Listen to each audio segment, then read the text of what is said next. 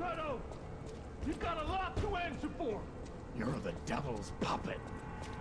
You can't sneak past me. Lies of P developer NeoWiz proudly calls its The Adventures of Pinocchio inspired action game a Souls like, drawing direct attention to its From Software inspiration. The proclamation is a bold and risky move. While there are great contenders in this action subgenre, even the best are a few marks from what From Software creates, and I went into Lies of P with that expectation.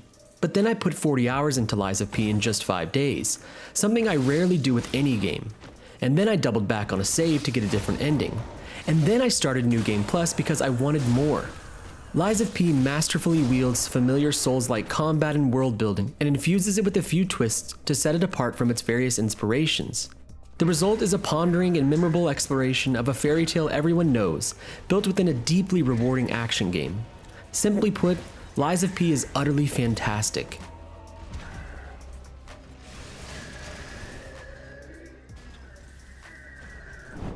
NeoWiz commits hard to Pinocchio. While I laughed the first few times Lies of P reminded me I was controlling Pinocchio, the game never joined in on that.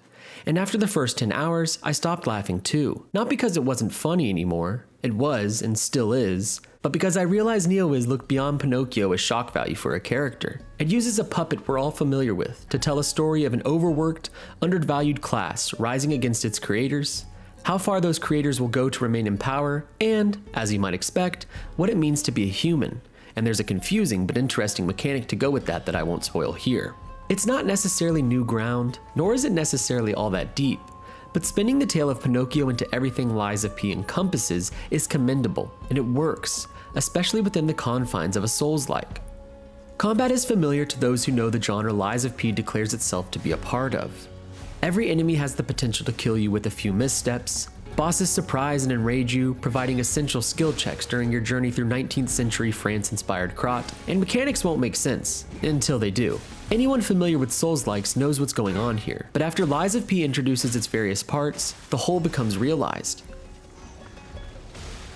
Pinocchio's mechanical legion arm can add fire, electricity, acid, easy blocking, a grapple line, and more to your arsenal, opening up the potential to discover enemy weaknesses. Grindstones further this, allowing you to imbue your weapon with an element, and one-time use wishstones can completely turn the tide of a battle.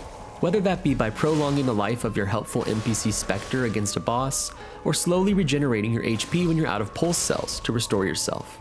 Even weapons can be broken apart into a handle and a blade to mix and match, and every weapon is capable of special Fable Arts moves to flashy effect. I loved the pace at which NeoWiz introduced these mechanics, as it deepened what I could do in combat at just the right moments when I thought I was done learning.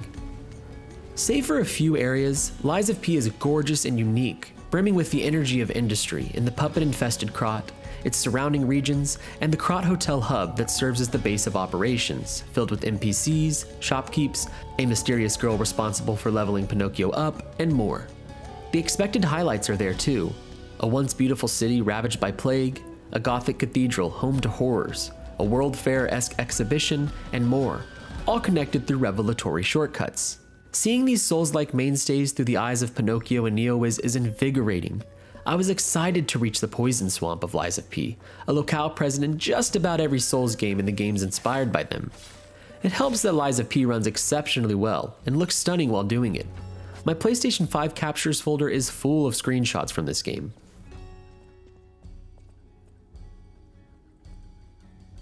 Even when Souls-likes excel at creating an exciting world and great feeling combat, it's often the bosses where the seams show.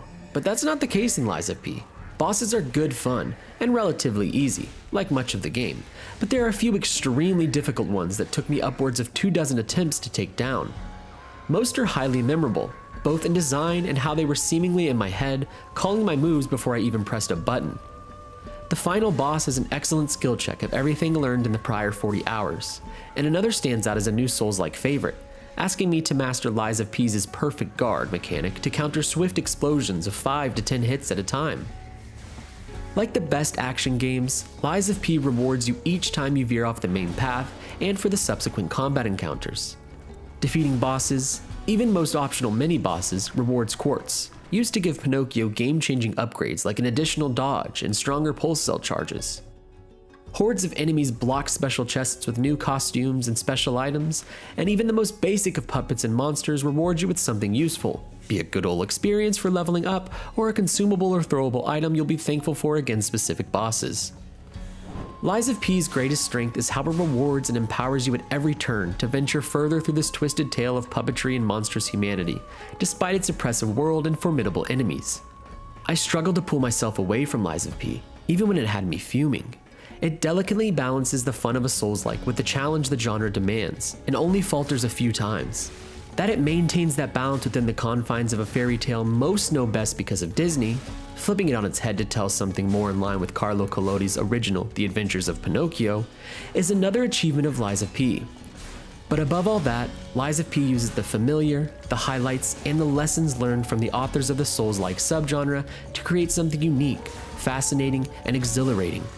NeoWiz aimed for the stars, much like the ones its Pinocchio wishes upon, and hits them with machine-like accuracy.